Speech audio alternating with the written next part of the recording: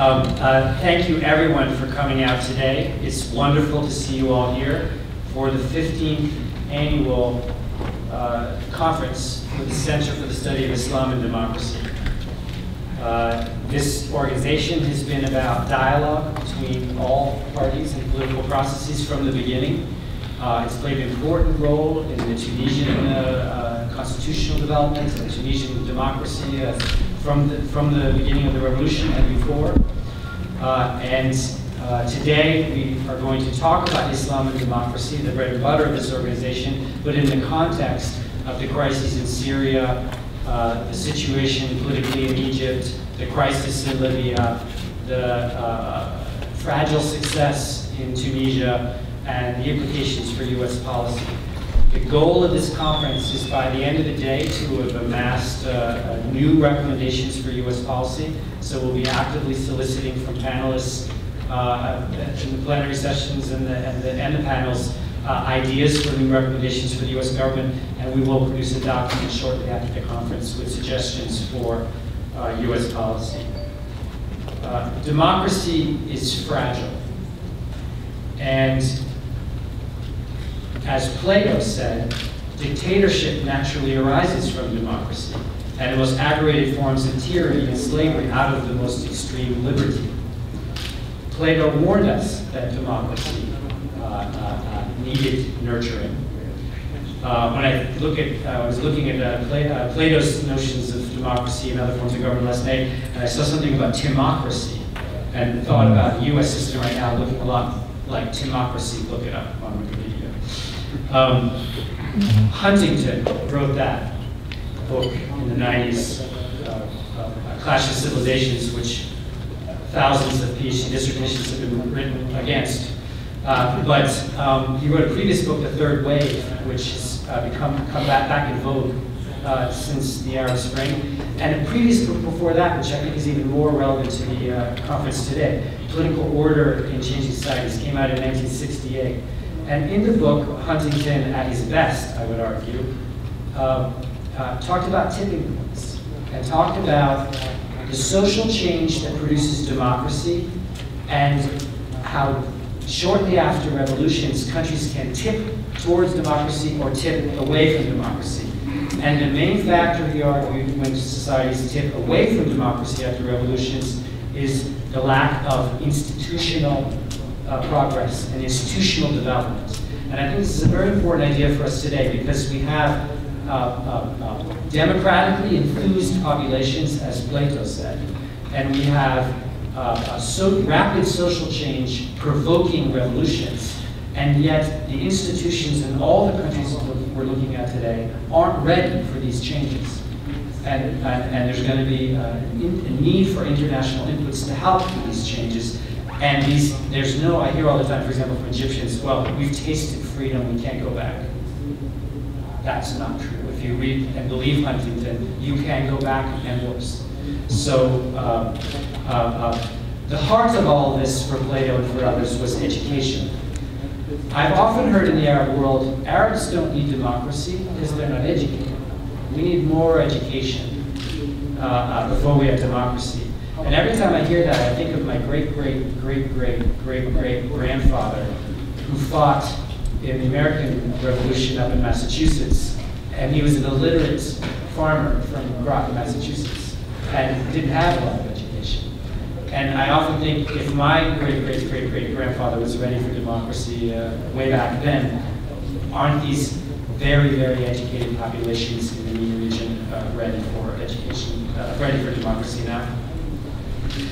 Our first speaker today, oh, first of all, we have a great lineup today. I, I, I can't remember a lineup like this at a, at a one-day DC conference. Uh, uh, uh, we have an incredible lineup today. Uh, and starting first and foremost with our first speaker, who I haven't seen speak publicly that often. And he's mm-hmm. even offered to take questions. Uh, so this is a very special uh, moment for all of us. Philip Gordon uh, is an American diplomat, foreign policy expert, uh, former Assistant Secretary of State for European and Eurasian Affairs. Uh, there's more of his bio in your program. Um, but let me just say that he uh, uh, uh, has a long career, both as a think tanker and as a doer here in Washington. He was hired, I think, for this position in particular because of his ability to get things done. And uh, um, I really look forward to hearing his remarks.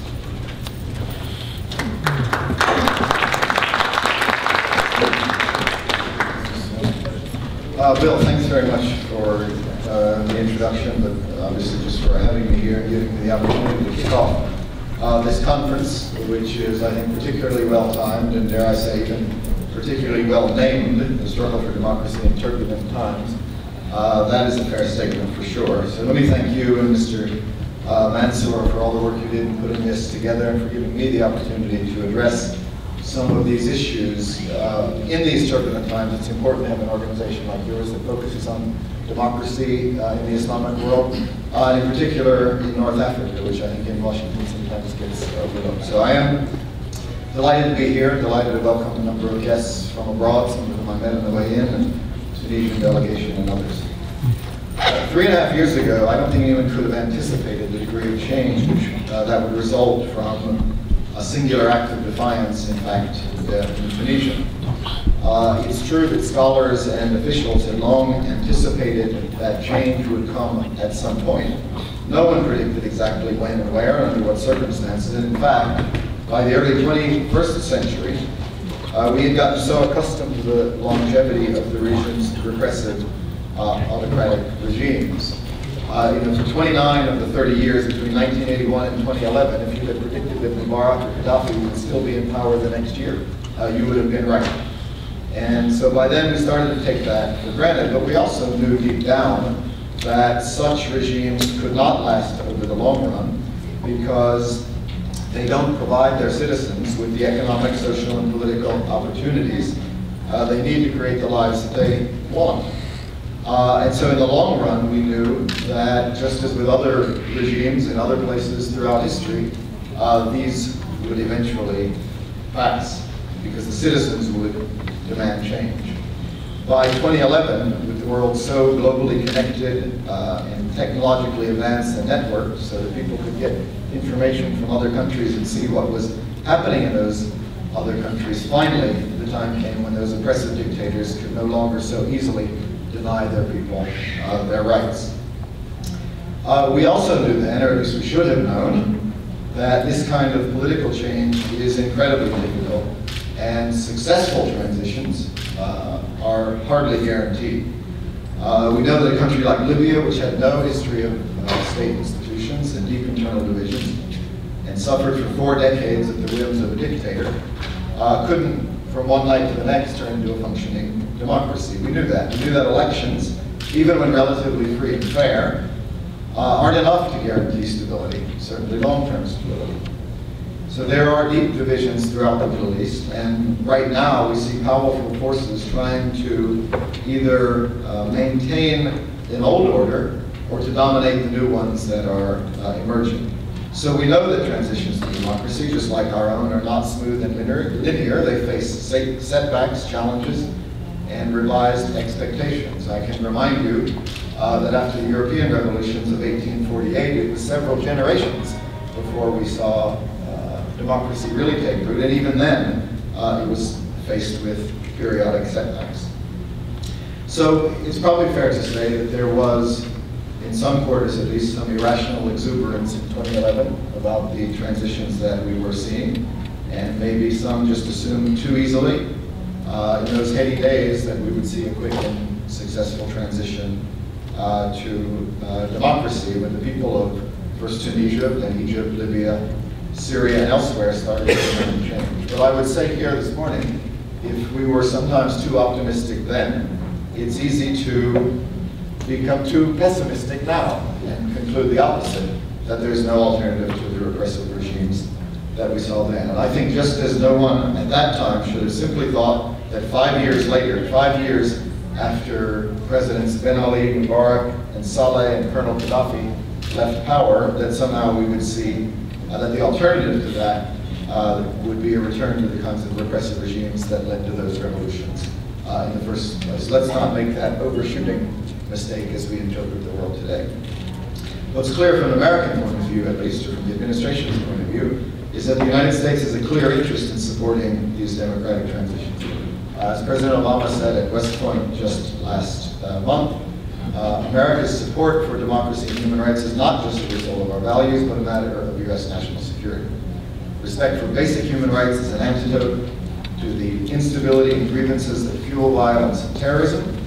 Given the imperative of this work, we, the White House and throughout the administrations, ask ourselves constantly, uh, how can the United States support the aspirations of the people in the Middle East and North Africa uh, who are demanding this change? How can the United States work with its international partners uh, to support the democratic transitions in places that have not before had peaceful transfers of power? We know it's not easy, but uh, we also know the interest we have in the right outcome, and that's why we're constantly asking these questions, and, and that's why forums and discussions like uh, this one are so important, uh, because we need to learn from our experiences, and we need to learn from our uh, mistakes to try to get this right.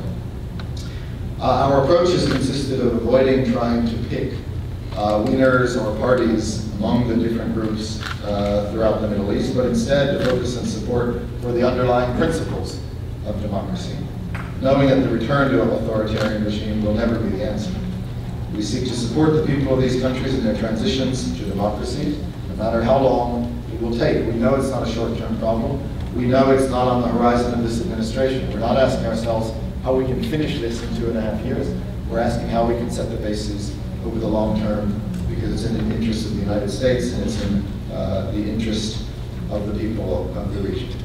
Let me just mention a couple of uh, examples touching on some of the countries represented here and on the agenda today. Starting with Tunisia, uh, where the recent wave of transition started. Uh, we welcomed on January 27th of this year the signing of a new constitution uh, which respects the rule of law, freedom of beliefs, and equality for all citizens. Uh, I was proud to join Secretary Kerry in his uh, visit to Tunis last February, uh, where he went specifically to show our support for the Tunisian transition. Uh, I was also pleased to be able to join President Obama uh, in welcoming Prime Minister Jomaa to the Oval Office in April. Uh, on June 3rd, the United States and Tunisia signed a $500 million loan guarantee fulfilling a pledge that President Obama made during the Prime Minister's visit to the United States, following our 2012 loan guarantee of 485 million, which facilitated Tunisian access to global capital markets for the first time since 2007, and is part of our broad economic and security cooperation in support of Tunisia's transition. We know no country can be a specific model for any other, but Tunisia does show the possibilities of compromise and inclusion and how they can lead to positive results. In Egypt over the past several years, there has frankly been all too little compromise and inclusion. President Obama has delivered the same message to each of the last few Egyptian leaders. Govern in the interests of all Egyptians, or you will fail. We want you to have stability and prosperity, but this will only come if you protect the rights of your people and invite your opponents to participate in deciding the country's future. Unfortunately, uh, President Mubarak, the SCAF, and President Morsi all ignored this advice to their own detriment and that of their country. And over the last year, we've continued to encourage the interim government to govern inclusively and respect the Egyptian people's rights to basic freedoms like expression, assembly, and due process and rights. Obviously, these are choices for the Egyptians to make. It's not for the United States to dictate anything to any country. But it is the advice of a close friend uh, who doesn't believe that you can successfully bring stability in Egypt while uh, excluding large segments uh, of the population. So we're committed to our strategic partnership with the people of Egypt, and we want to see Egypt succeed. succeed. Uh, at the same time, we are honest about the threats posed by disenfranchising, disenfranchising large segments of the population. Uh, when the government used large-scale violence against civilians and detained opposition leaders uh, uh, last year, President Obama made clear that he couldn't conduct business as usual. So we withheld the delivery of some major weapon systems, pending progress towards democratic reforms and inclusive governance. While we recognize the outcome of the presidential election and look forward to working with President al-Sisi, we continue to point out that democracy is not just about elections. As we said in our press statement on the election, true democracy is built on a foundation of rule of law, civil liberties, and open political discourse. We're now urging the new president to take an inclusive approach to reconciling the Egyptian people's demands for dignity, justice, participation in the political process, and political and economic opportunity. Support for mutual security interests has not ceased, but this should not be viewed as carte blanche to the current government. We will continue to support the political, social, and economic aspirations of the Egyptian people. In 2011, the Libyan people, with great courage and against all expectations, demanded change after four decades of oppression under Gaddafi. Working with the United Nations, the Arab League, and our other international partners, the United States drew on a range of diplomatic and military tools to protect the Libyan Gaddafi's brutality, including sanctions, international isolation, and a NATO-led military operation. This support prevented Gaddafi from fulfilling his too credible threat to kill thousands of innocent people. Less than one year after Gaddafi's ouster, the interim Transitional National Council peacefully transferred power to an elected General National Congress. That moment was one of, one of justified elation in Libya, but we also knew that it was only one step in a very difficult process as political divisiveness, well-armed militias, and weak institutions threatened to derail the hopes and aspirations of the Libyan people.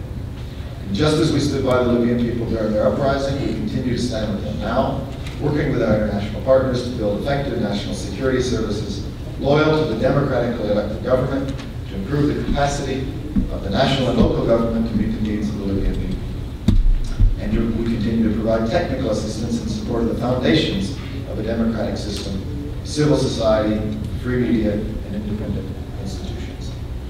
Recognizing the danger posed by increased political polarization, we're working closely with the United Nations and key international partners on a mediation effort to help Libyans come to a political agreement about the next steps in their democratic transitions, underscoring the need for reconciliation to avoid violence and achieve aspirations of the Libyan people who sacrificed so much in their uprising against the Gaddafi dictatorship. Uh, these are just a few of the examples of the kinds of support the United States is committed to providing during the transitions throughout the region. Uh, obviously, there are other cases, and uh, uh we can perhaps discuss those uh, in the Q&A session. Uh, Syria is obviously critical, Iraq, given the developments of the last week, but I think these cases that I mentioned give you a sense of what our goals are and the types of tools we are trying to use to bring about difficult but successful transition. Uh, we know uh, we're more effective when we do this not just alone, but with our international partners, leveraging international contributions towards these goals. This was another thing of the President's West Point uh, speech. We have close diplomatic cooperation with key partners to convey consistent messages, promote the rule of law, and strengthen the protection of human rights. We also know that the path to stability is through a transparent and inclusive political process where people of all backgrounds, if they renounce violence and agree to the rules of the game, should be fully included, represented, and respected. Terrorists and those seeking to derail democratic transition should be identified and judged by their actions. We don't a minute underestimate the threats posed by violent extremists to both the democratic transition and the security of the region. Uh, this again has been all too apparent in Iraq over the past several days and has uh, the attention of the highest levels of our government. As these old regimes have broken down, there have been opportunities for terrorist networks to grow, presenting real threats to the security of both the regime and the world. And this is why the President called on Congress to support a new counterterrorism partnership fund of up to $5 billion, allowing us, we hope, to work with the countries in the region to build partnerships and capabilities to counter these growing terrorist threats. We'll continue to engage to encourage broad participation in the democratic process by those committed to respecting the rule of law and the peaceful resolution of disputes. Conclusion. In an obviously, it is obviously uh, a turbulent, even tragic time throughout the Middle East and North Africa. But it's also an inspiring one a time when people's choices and decisions determine the trajectory of their nation's future. The United States has been working on our own democratic transition for over two centuries, and we will, uh, we're still finding ways to uh, improve. Like I said, nobody is a model for anyone else, and we would necessarily encourage everybody to follow the American political model. Uh, these transitions are hard, Uh, And I am glad that so many people in this room uh, are working in support of these countries through your research and advocacy and political participation and journalism. Uh, We know in the administration we don't have all the answers. And we're constantly, as I said, asking ourselves how we can do more and how we can do better. Uh, And it's for that reason that we welcome the work that you all do here in this organization, in this room, and look forward to contributions from discussions like those that are planned for today. Thank you very much.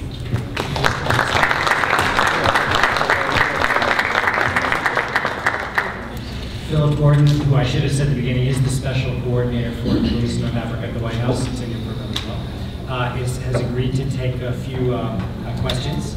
Uh, Please, uh, I also mentioned that we are live streaming, uh, and I know a lot of my friends are watching uh, there, so know that your questions are being live streamed all, all over the place. Please identify yourself and ask a question. Uh, First question right here. We have a a volunteer for, with a microphone, please, so we can, There's a microphone over there. If a vol- microphone doesn't come to you, please uh, go to the microphones.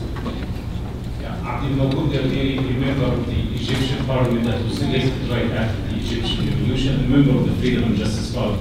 Uh, I thank you for the statements you made uh, about the uh, importance of supporting uh, democracy, rule of law, and human rights in Egypt. I do share the uh, caution, optimism you have.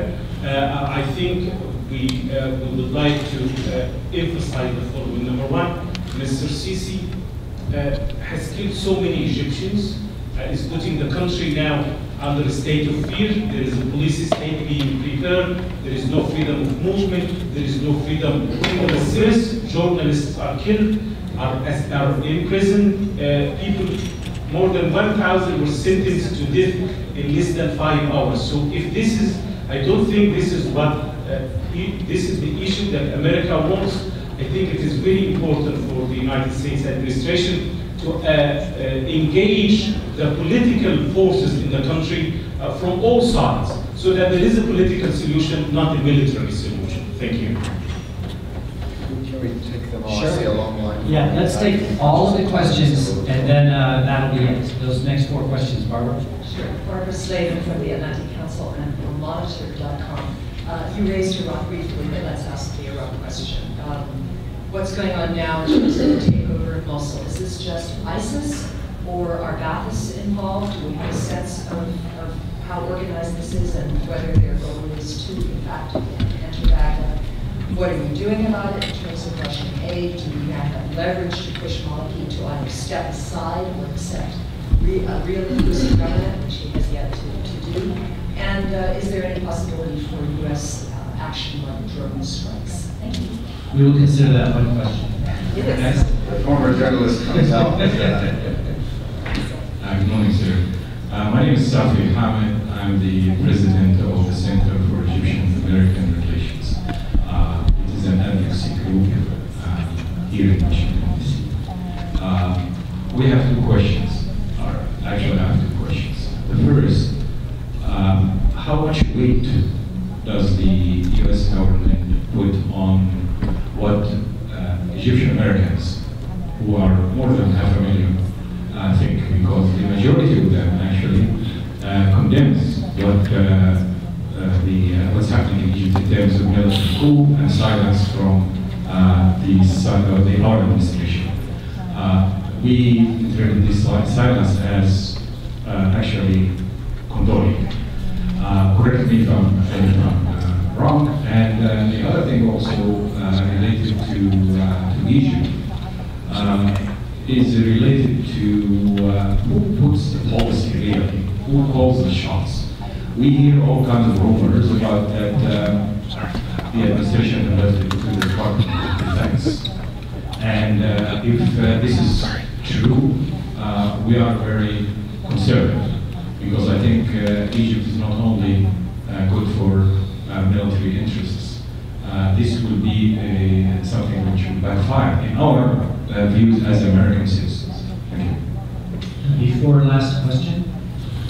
Uh, Dina Abdul Qadir, uh, Associate Professor uh, from the University of Maryland, Massachusetts. Um, Basically, the Apache helicopters those to Egypt six hundred. Could you keep your um, Microphone. microphone close to you?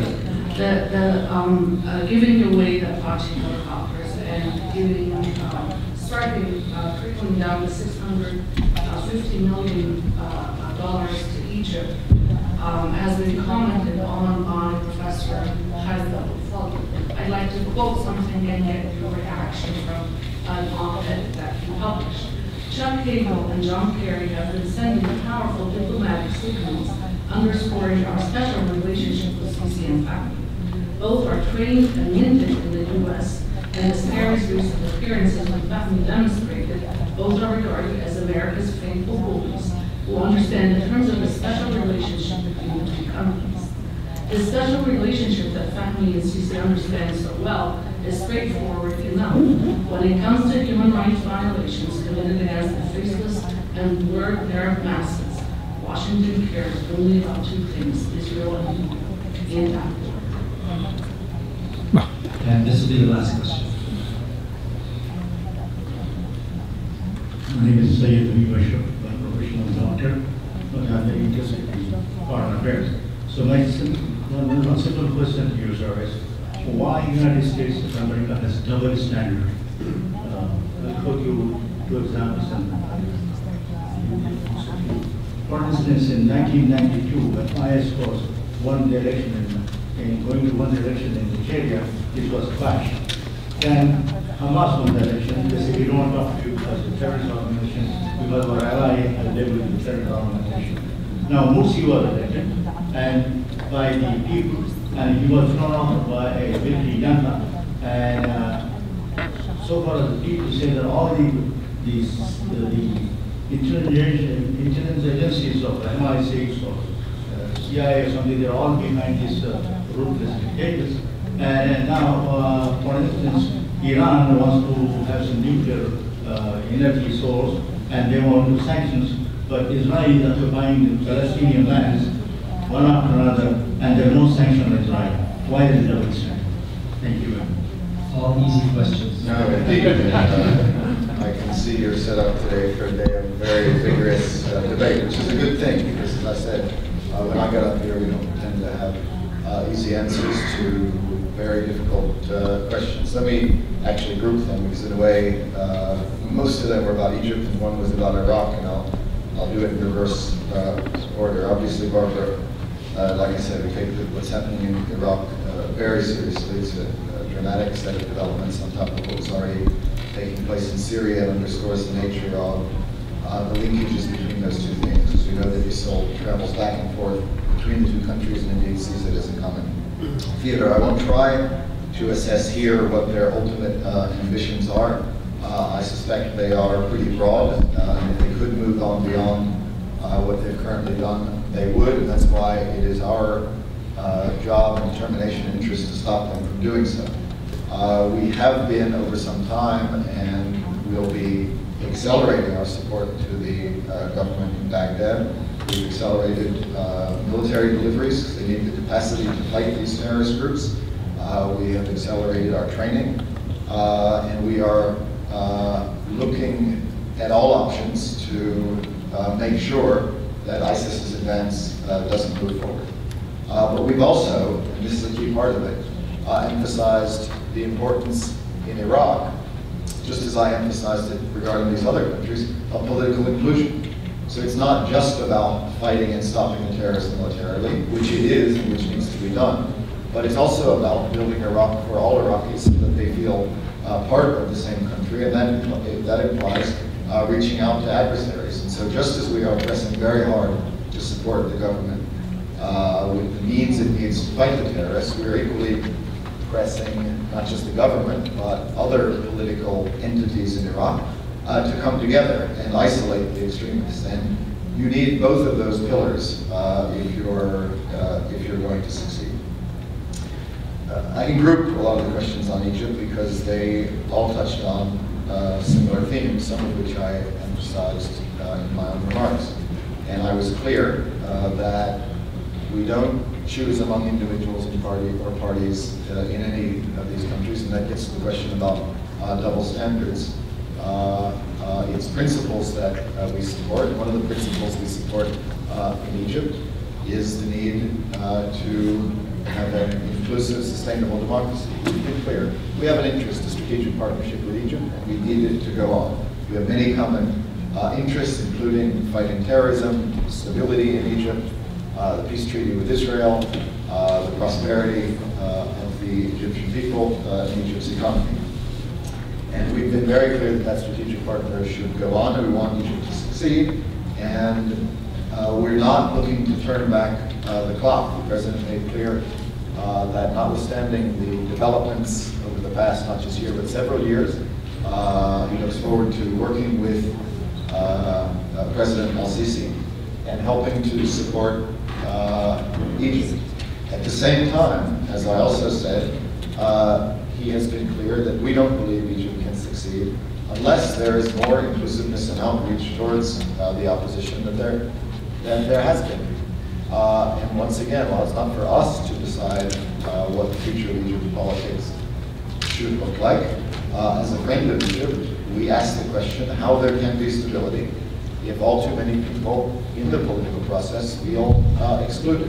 And that's the challenge that uh, the Egyptians are going to have to sort through. And we have, like I also said, uh, uh, suspended some delivery of major military systems to indicate that uh, that it is not business as usual. Uh, until the government moves in that direction, it's going to be difficult for the United States to support Egypt and help to, see, to succeed like we would like to. One of the questions was specifically about the voice of Egyptian Americans, and I want to say we obviously welcome the voices of Egyptian Americans. One of the best things about our democracy is everybody gets to contribute to it. Uh, the voice of Egyptian Americans uh, is critically important, and we listen to it uh, carefully. I don't think, sir, to, to be fair, that it's accurate to talk about silence of the U.S. government when it comes to Egypt. We've been quite clear about all of the principles that I just uh, articulated at the time, directly with Egypt's leaders, and by me uh, here this morning. Uh, and to answer your other specific question, the president calls the shots based on the principles that I articulated. Uh, an interest in a stable Egypt, an interest in a partnership with Egypt, uh, but also in a long-term, sustainable, inclusive, and non-violent uh, democracy in Egypt. Uh, we can't do it for the Egyptians. We can only stand by and help uh, as friends.